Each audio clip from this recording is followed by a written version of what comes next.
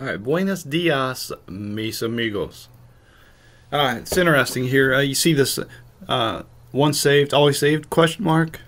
Is once saved, always saved true? Question mark.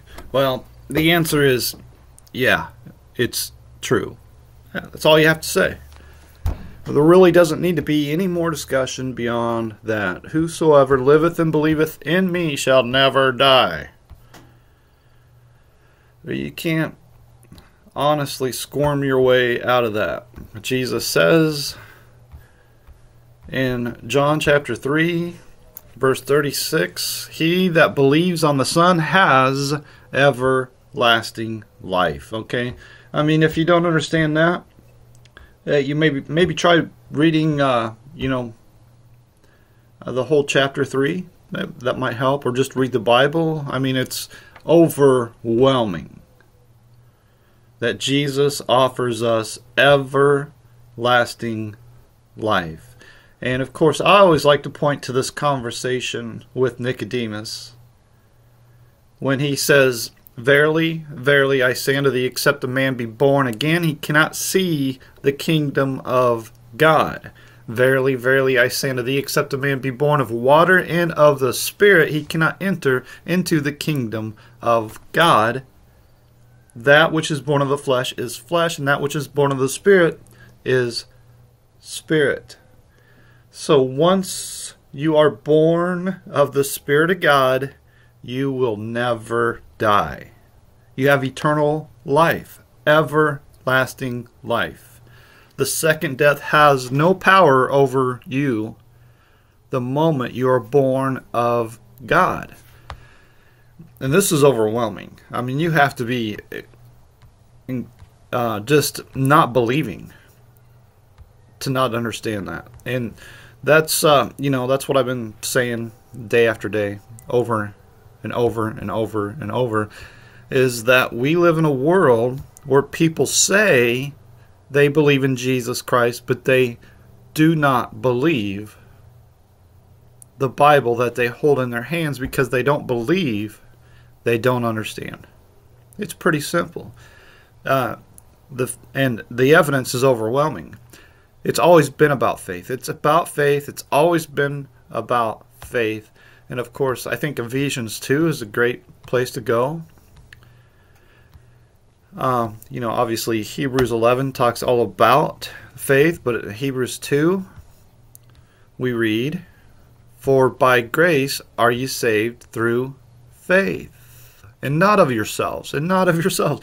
It is the gift of God, and not of works, lest any man should boast. So it's obvious, it's beyond obvious. If you don't understand it, it's because you don't believe. And if you don't believe, of course, you're not going to understand it. And so we that's the world that we live in. People that don't believe and so they're trying to contemplate and trying to reconcile and all this sort of they're trying to twist and squirm and all that sort of stuff. They're trying to deal with this question because they don't believe.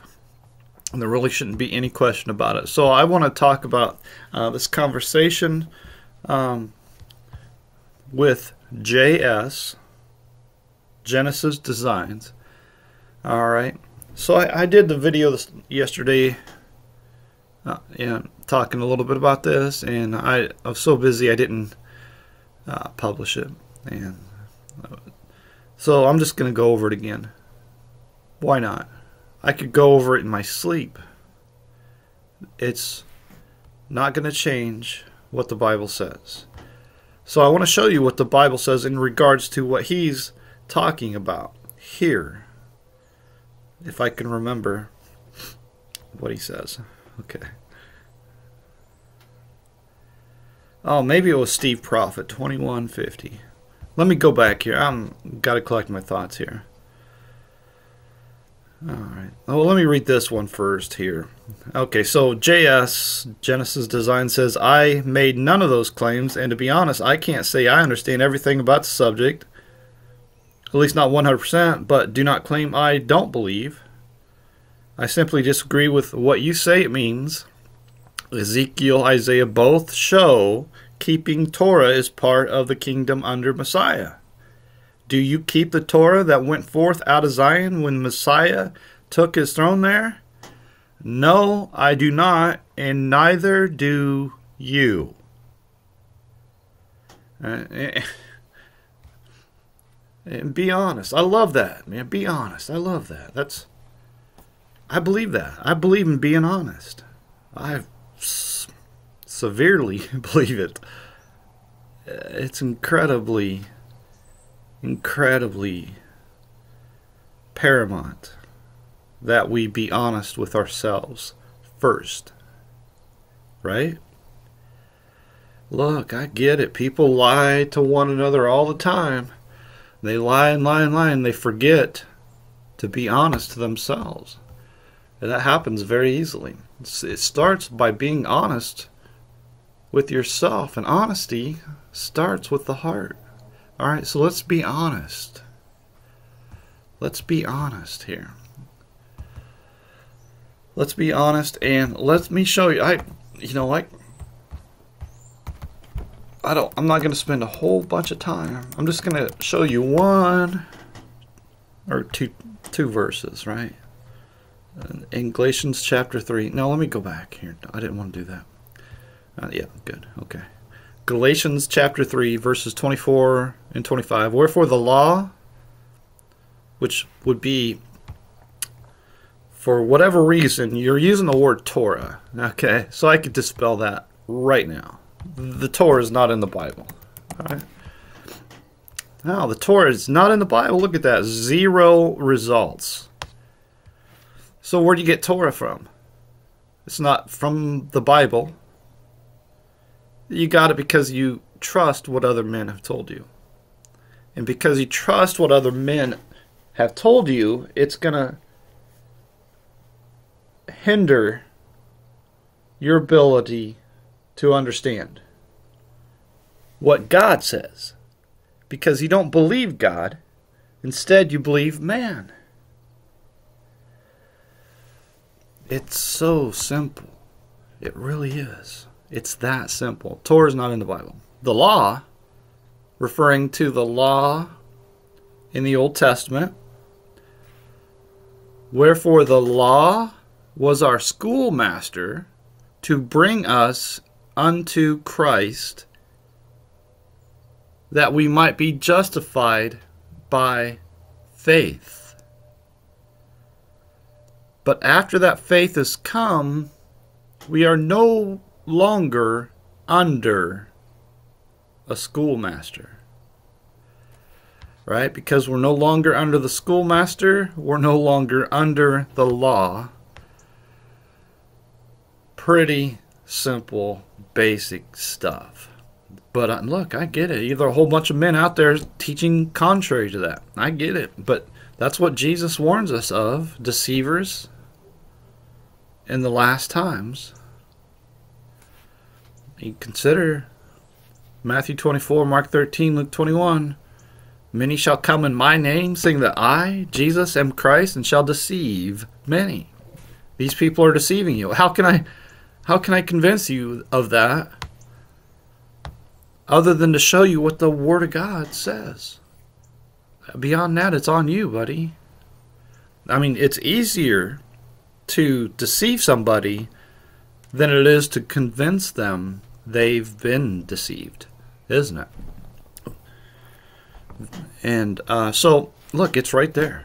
It's right there in front of your face. Whether you believe it or not, that's on you. You debate it until you turn blue. It ain't going to change the Word of God. It ain't going to change the truth. The truth is not subjective, it's objective. Okay. All right. So that that should settle that, right? You don't keep the Torah. If you could keep the Torah, then Jesus died in vain. No, nobody can keep the the Torah, the law. Nobody can. Nobody has. Only Jesus is the only one that never sinned. All right. He's the only one. And he's the one that did all the works of God required for salvation, for everlasting life. 2 Corinthians 5, verse 21 For he has made him to be sin for us, who knew no sin, that we might be made the righteousness of God in him. He's our shepherd, right? We are the sheep. We follow him. We put all our trust in him. He's done it all for us, right? And we, because we can't do it on our own, we can't. The law shows us that we can't do it on our own. The law reveals our iniquity. Now consider this the Word of God is quick and powerful and sharper than any two edged sword, piercing even to the dividing asunder of soul and spirit, and of the joints and marrow, and is a discerner of the thoughts and intents of the heart. Wow. That's incredible, man. It's not just words on a paper, man. It is a living spirit.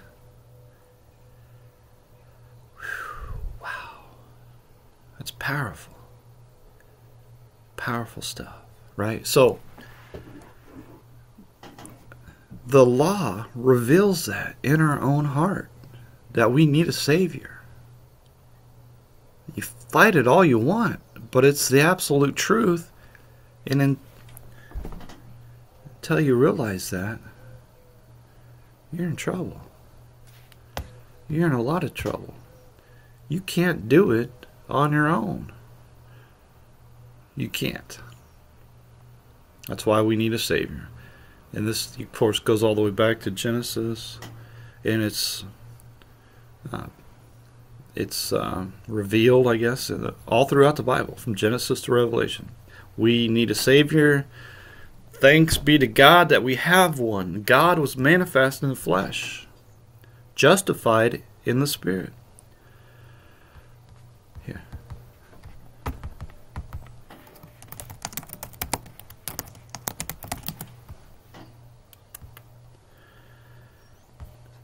God was manifest in the flesh, justified in the Spirit, seen of angels, preached unto the Gentiles, believed on in the world, received up into glory. He's done the work for us. Okay. Oops. Yikes. I don't know what's going on here. Okay, so let's go back. Um, he asked he asked a very good question. How would you explain the thousand year timeline? And of course, um, I just like to try to make it simple and walk the viewer through it. The the timeline of the last days, the time that we're in now to the time of the end, when Jesus comes in clouds of heaven, it's very, very simple. So in a nutshell, at any moment now, Jesus could come in the clouds of heaven and we will we that are saved will be lifted up and the unsaved will be gathered at our feet and they will be killed. Those of us that are lifted up we are transformed into our glorified body an incorruptible immortal body to meet the lord in the air. All right? So our enemy is at our feet and we with God will stomp our foot on the head of the serpent, destroying evil forever. Then there will be set back down on the earth, which will be a new earth and new heavens. And here we have eternal life. All right? And that's it. You, you see all these phonies with all these charts and all this rubbish and all this nonsense about a thousand bonus years, it's not true. It's not supported by the Bible. And that's why I'm uh, consistently honest. They're teaching comic book fantasies. And why is this so important? Is because it, what are you putting your hope into. Why do you believe in the Lord Jesus Christ? I believe in Jesus for eternal life. Meanwhile, all these preachers are preaching this idea of, of a bonus thousand years. And it's not biblical at all. And I, I could show you Revelation 20, as clear as day, never makes any mention of Jesus reigning a thousand years. It's incredible. People don't care. All right, so let's get on to this uh, uh, great conversation here, by the way. Um, uh, let's see. So you lost me in your first statement as an insult to the translation. I've got several translations and I don't believe in none of it. So you're not going to understand any of it. JS, come on, buddy. That's the point that I'm making. I know the Bible I hold in my hands comes directly from God. Without faith, you're not going to understand. And then, uh, of course, uh, Steve Prophet, 2150, he uh, intercedes. He's going to call me a dummy. Let's see. Mister, you don't have a clue. The Bible clearly says there is a 1,000 year rest Sabbath. Then you use yourself as a reference, and I almost spit out my coffee.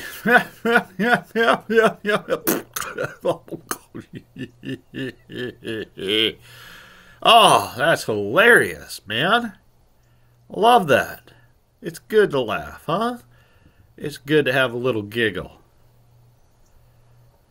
And yes, the Bible says Satan is released for a short time after the Messiah has been reigning a thousand years. That's what the Bible says. I, what Bible are you talking about, Jack? huh? I almost spit out my coffee right there.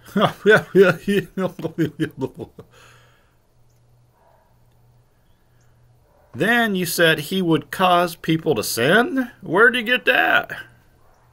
Never mind. Arguing with a fool gets no one anywhere. Click, press enter, reply, send, whatever. After saying never mind, that's interesting. You, you thought never mind. Arguing with you're a fool gets no one anywhere. And then click, send it, send that even though you said never mind. If you meant never mind, you would have erased the whole thing. Anyways, that I appreciate the comment. I do. Go ahead and get mad. Be mad. It's good to get mad once in a while. Get the blood going. It is. I appreciate it. Boy, I get mad all the time. And it saves me from drinking a whole bunch of coffee. You know what I mean? I only have to drink two cups of coffee in the morning, and I'm and I get a little bit mad. I'm ready to go.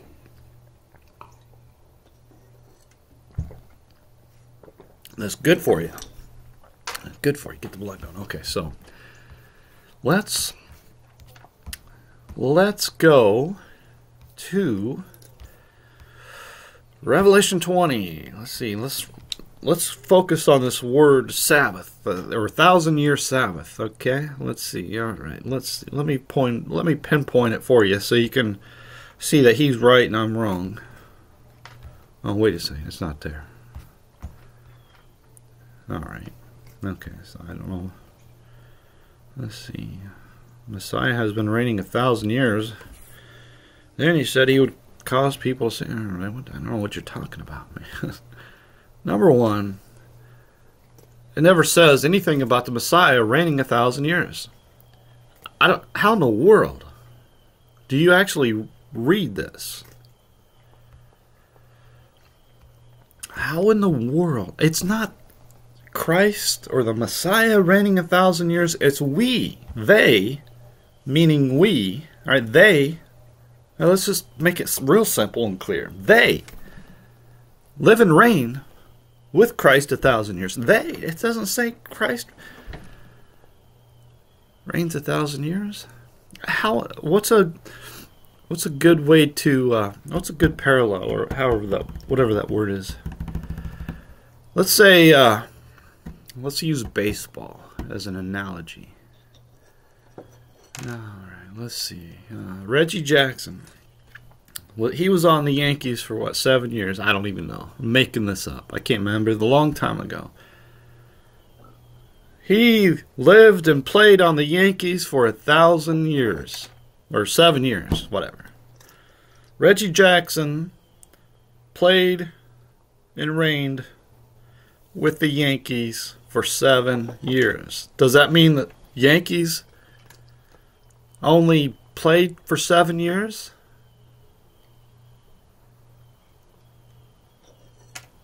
Is that is that a good analogy? Is that fair?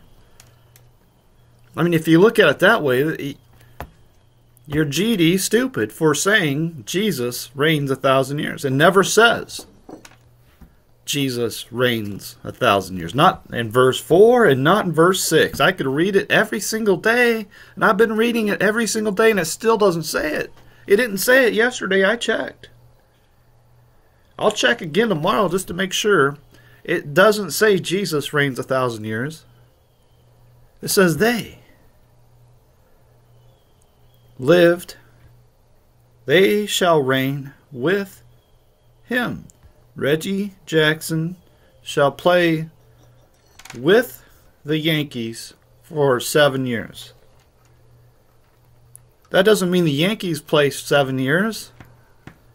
Just means Reggie played seven years. Yeah, I better look that up. I don't. I'm not sure how long he played with the Yankees. Might have been longer. Might have been shorter. I don't know. I just remember 1977 sitting on my grandpa's lap watching Reggie Jackson hit the third home run in the game. All right, so anyway, I'll get into that. Loved that. Loved it. Loved it. Okay, so anyways, who cares? Um,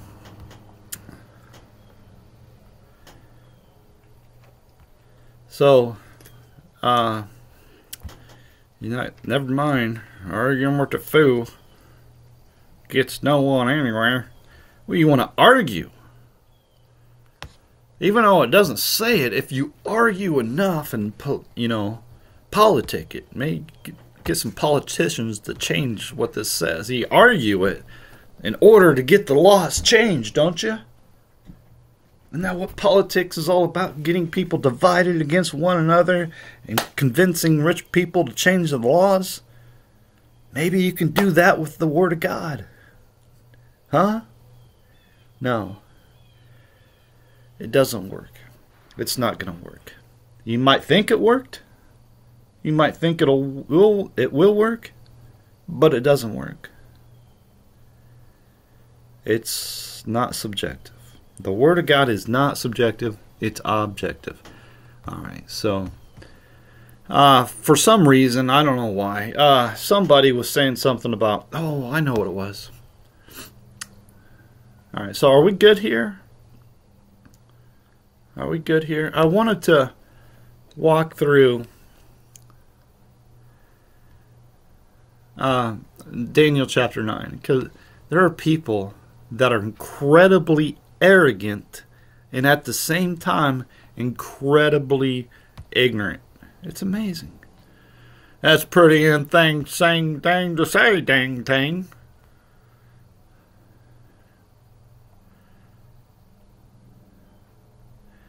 The King James Bible is better than anything written in Greek or Hebrew. If you don't understand that, you don't understand the Word of God. Well, that's a pretty insane thing to say. Because I want to be able to go to these foreign languages and change the Word of God to say whatever I want it to say. And I don't believe in none of it anyway pretty insane to believe the Bible that you hold in your hands comes from God. That's insane. Goodness sakes. That's insane.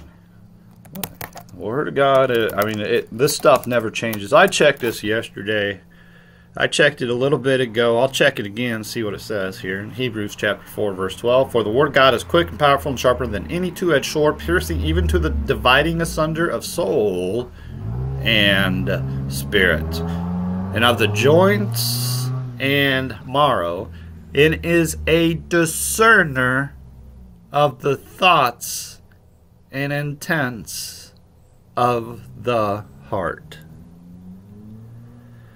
The Word of God is a discerner of the thoughts and intents of the heart. The Word of God is a discerner of the intents of the heart.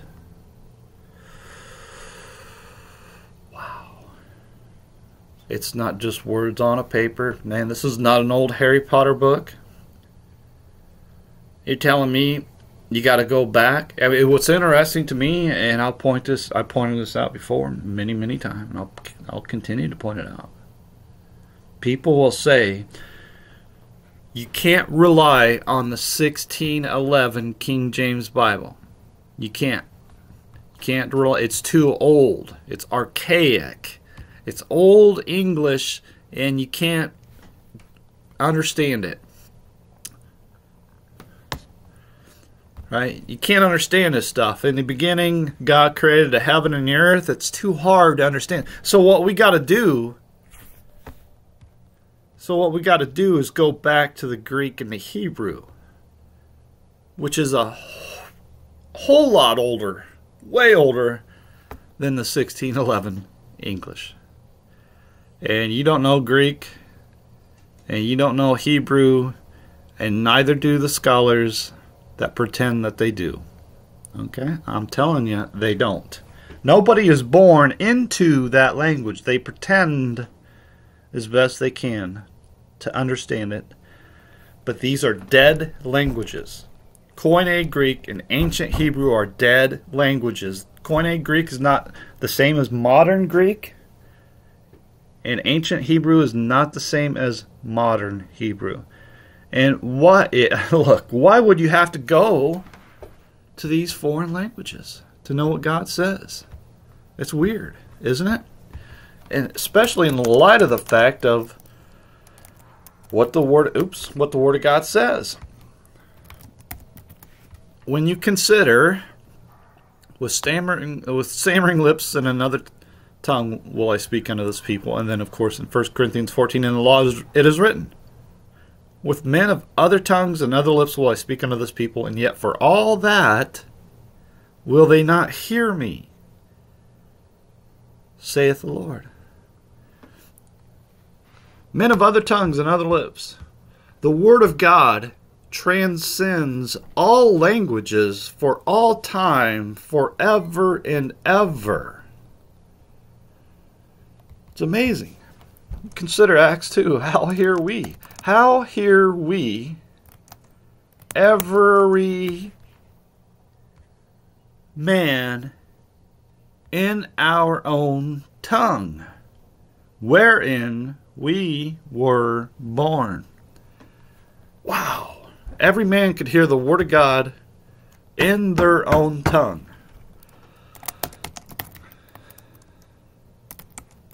Let's see if I can find something here. Dog biscuit.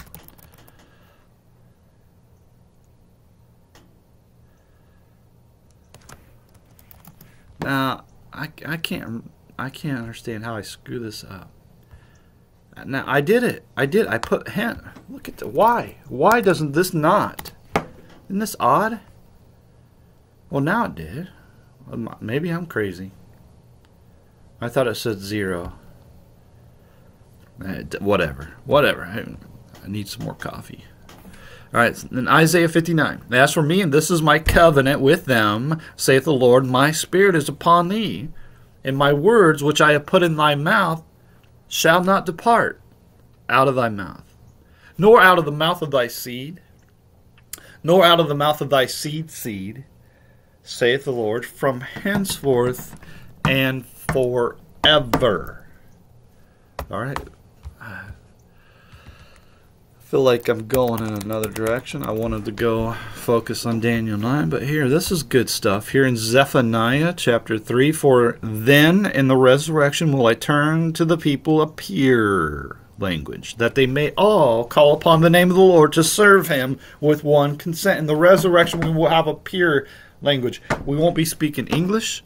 We won't be speaking Greek, we won't be speaking Hebrew, we won't be speaking Japanese. All the languages that are spoken of today will be done away with, and we will speak a pure language. Consider that it wasn't until after the flood of Noah that God confounded the language. So he split apart the languages and made several languages. He confounded it, confounded the language, so nobody could understand the original language. So the original language wasn't pure, but it got confounded.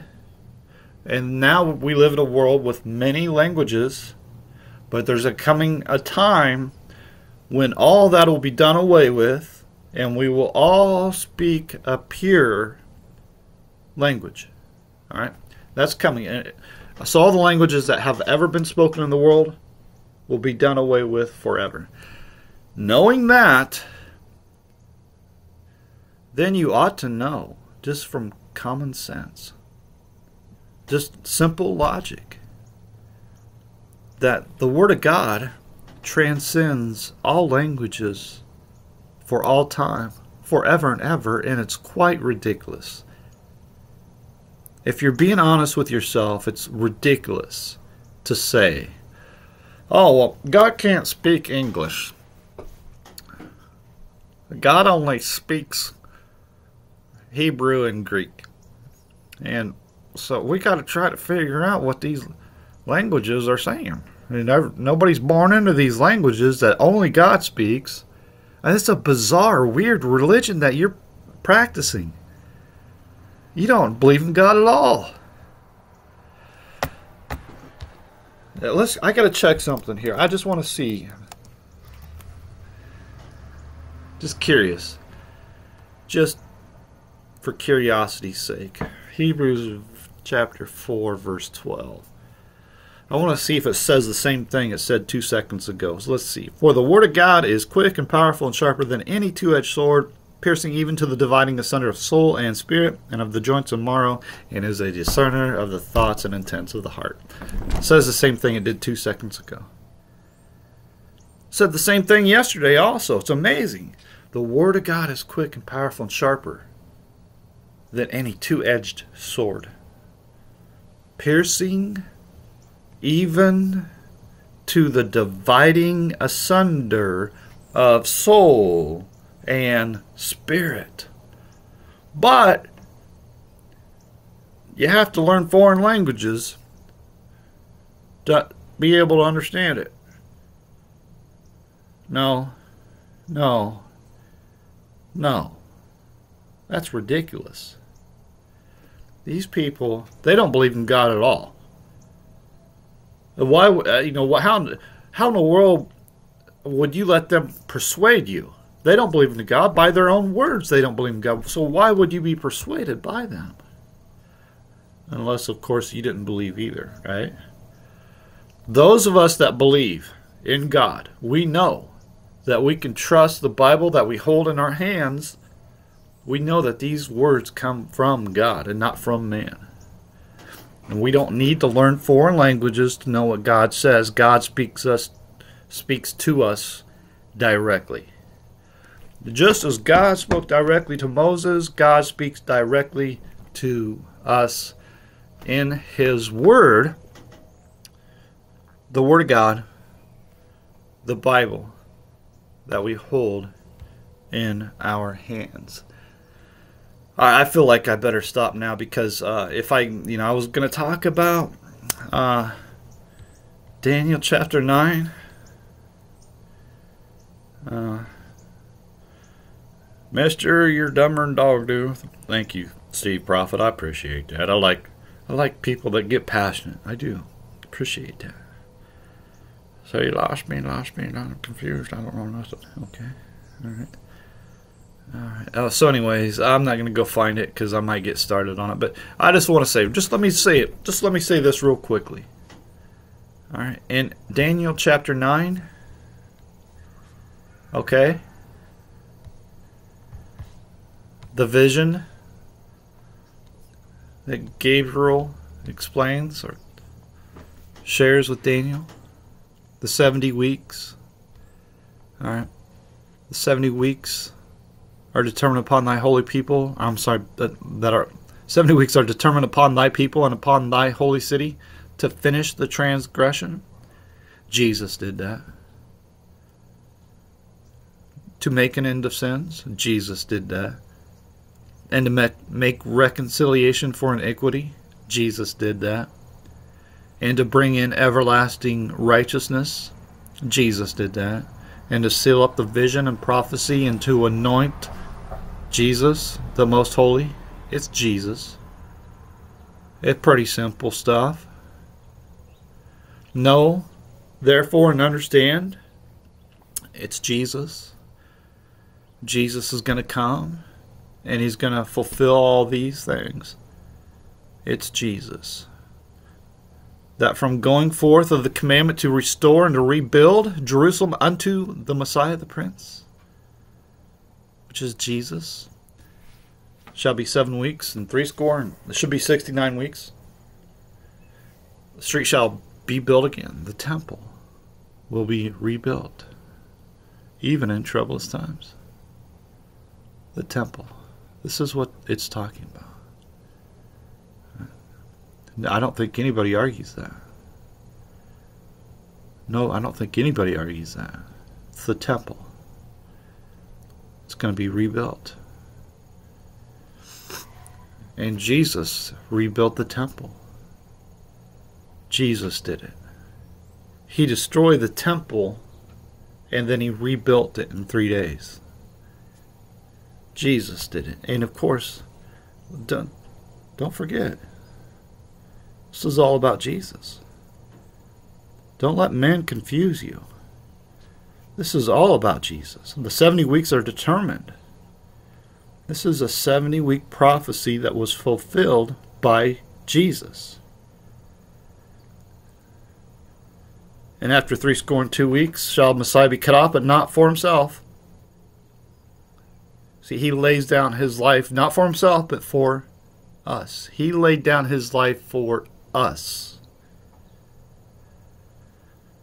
And the people of the prince, the Jews, they're the one that came and killed him. They're the one that destroyed the temple. Jesus laid down his life, or he, he gave up, he allowed his temple to be destroyed. And then he rebuilt it in three days, just like he said he would. Until, you know, and he rebuilt it and he ascended to heaven with a promise to return for us, and he shall confirm the covenant. This is the covenant. It's a better covenant that he has made with us based on better promises. Jesus did it. He shall confirm, and he confirmed the covenant with many for one week.